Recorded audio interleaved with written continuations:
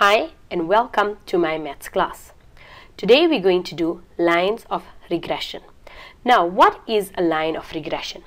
A line of regression, if you look at the specific scatter plot diagram, what you would notice is that there is no way I can draw any single line and touch all the dots. So if I were to draw a line there and touch that dot, perhaps in that way I can touch one or two dots, but there is no way that the line can touch all of the dots at a time. Sometimes it will touch one or two, but it doesn't touch all the dots.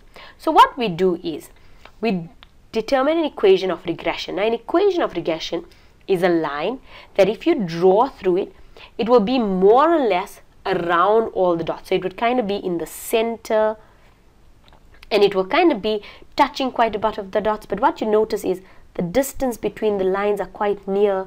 So they are all within the area of the line. Now how do you determine the equation of regression?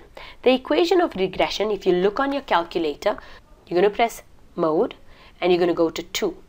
But what you're looking at is the sum that looks like this. If you look at it, you can see it on your calculator. A plus bx. Okay, now A represents the y-intercept and B basically represents the gradient of the line. Now how do we do this? You're going to press mode, you're going to press 2 and then you're going to press 2. You're looking specifically for this on your calculator. So you press 2. So on my calculator it is 2. Then you're going to have a column that says x and y and if you have your frequency on it has frequency but you can just ignore that column. Now the first column is what you're going to press X. So you're going to press 1 equals, 2 equals, 3 equals, 4 equals, 5 equals, 6 equals, 7 equals, 8 equals. What happens is your calculator moves down. Now once you press equals, you're going to go up again till you're 1 and then you're going to press right. So now we're under the Y column.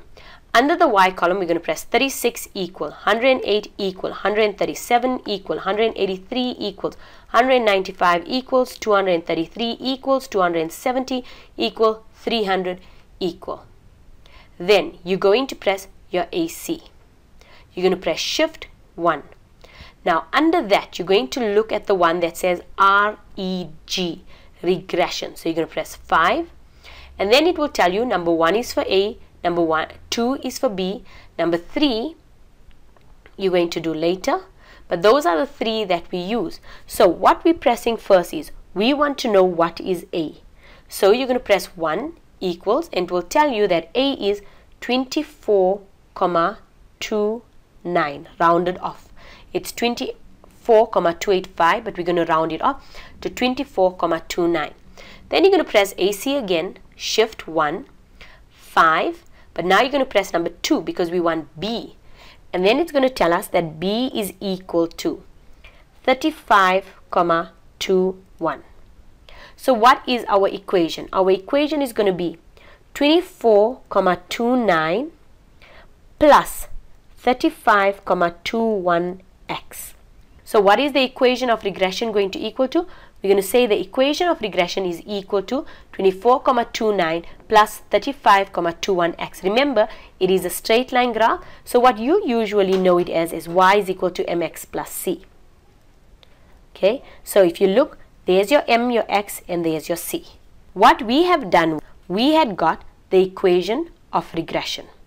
Now they ask you to draw the line of regression. So they are asking you to basically draw,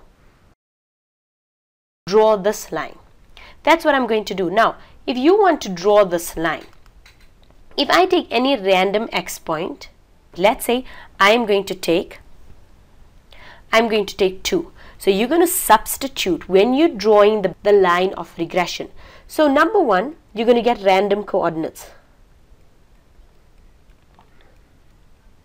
Now how do you get the random coordinates? Simply by substituting into the formula, into the equation that you had already worked out. And number two, which is very important, is that you must get the mean of x and the mean of y. And you must make sure that you pass that specific point. So when we're drawing this graph, we're going to try and get a low point. So let's say we work on 0.5. So we're going to say 24.29 plus 35.21 into 0.5 close brackets equals to 41 comma 9 okay so my coordinate is a half and basically around 41 or 42 if we were rounding it off. And then we're going to look for like a high. So let's say eight and a half. So you don't need to retype the entire thing in your calculator. You use your arrow you go back and you put 8.5 and we got around 323,5 so around eight and a half we're looking at 323 so if we got eight and a half and then we've got 324 you can say. Now those are just two points that we have. Then we are going to look for the mean of the first and the mean of the second. Now how do we do mean? Mean is your previous work of grade 11 which is under variance where you simply put in your information if you are not sure how to calculate mean on your calculator, you need to go back. Now the mean of 1 to 8 is 4 comma 6 to 5. So my x mean is 4 comma 6 to 5. And then what is my y? So again you try and use your calculator.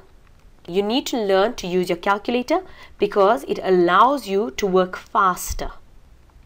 Right? And using your calculator we get it as 182,75. So we're going to try and plot this one also.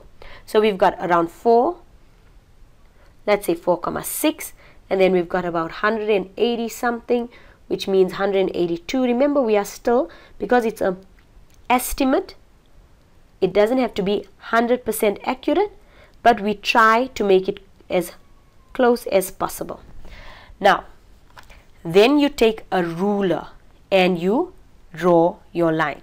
Now you know that it's going to cut here around 24 because remember I had previously said that this is your y-intercept but you should know that from your normal x-intercept, y-intercept and drawing of straight lines in grade 9. And then you take a ruler and you draw a straight line between that.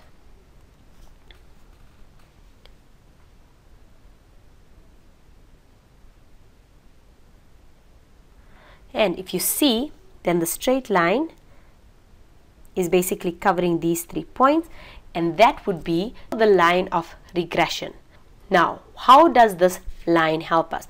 The line of regression helps us determine how many sweets will be sold in the future.